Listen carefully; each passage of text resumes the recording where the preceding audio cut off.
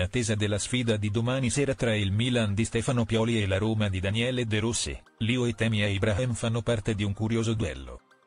Dopo tantissima attesa, il primo atto del quarto di finale tra il Milan di Stefano Pioli e la Roma di Daniele De Rossi andrà in scena nella giornata di domani.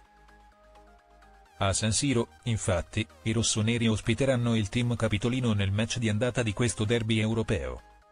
Quest'oggi, infatti, si sono tenute le classiche conferenze stampa di presentazione della sfida.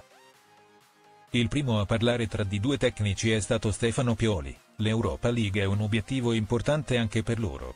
Loro stanno davvero bene, arrivano a questa sfida dalla vittoria nel derby contro la Lazio ed hanno perso solo contro l'Inter.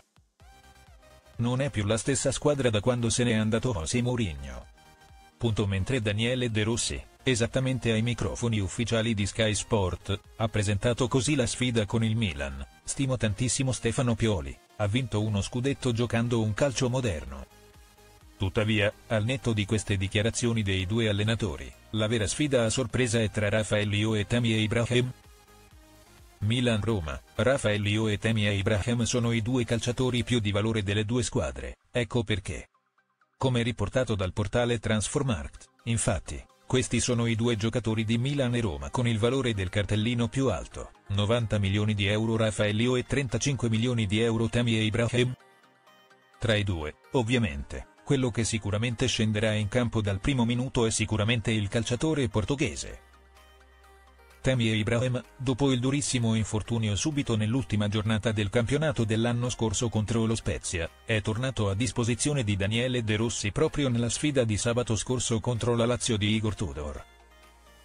Il centravanti inglese, dunque, potrebbe rappresentare quell'arma a gara in corso che potrebbe spostare gli equilibri della sfida.